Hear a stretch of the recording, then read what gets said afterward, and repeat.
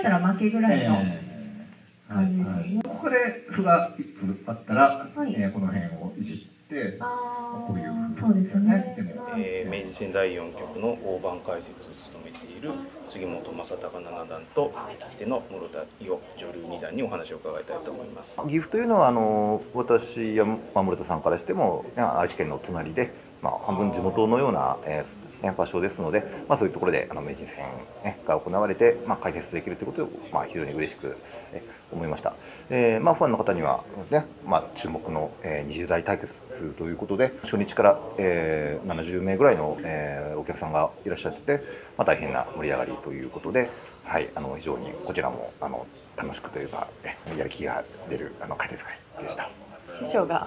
いらっしゃるのですごく私も落ち着いてと言いますかリラックスして自然体で。お客様も結構知ってる方もいらっしゃって本当に地元だなと思って楽しく解説会をさせていただきました。本局は、えーまあ、非常にじっくりした将棋になるかなと思っていたんですが、えー封じ手直前から、え流れが、え、随分変わりまして激しい将棋えっていって目が離せない、えー展開になったなと、えー思います、まあえー解説も力が入ります。本当に封じ手前後のこの数手10手ぐらいが本当に大事なところで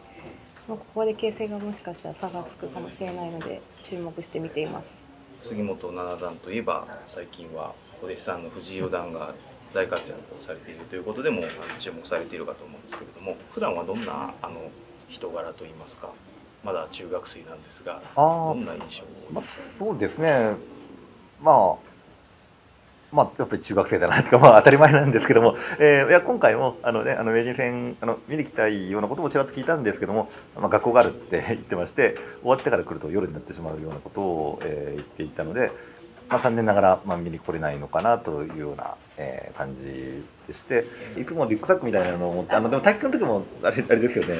なんか。えーまあそうですねなんかペットボトルからガガブ飲みじゃないですけど なんていうか体育の時もそうだったんで1回目の加藤先生業あれも注意し注意というかまあちょちょっとかっこ悪いから。私でもペットボトルそのまま飲んで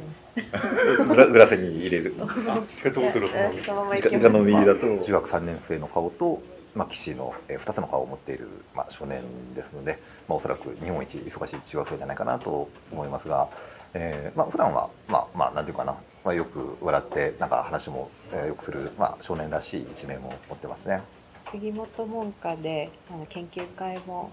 ありましてそちらに参加させてもらった時にもう弟弟子たちみんなでずっと将棋の話をしてましたね。うん、あの戦型はどうだとか それを、まあ、私たちは微笑ましく見てるといいますか本当に将棋が好きだなっていう感じが伝わってきますね。偉大な先輩方がたくさんいますので、えーねあのまあ、そういう方々の、まあ、記録に、まあ、現在、まあ、挑戦している真っ最中ですから、えーね。まあ、ただ、まあ、なんていうか自分の将棋を指すようにとはいつも彼に言っておりまして、まあえーね、あまり、まあ、意識しすぎても、えーね、よくないので、えーまあ、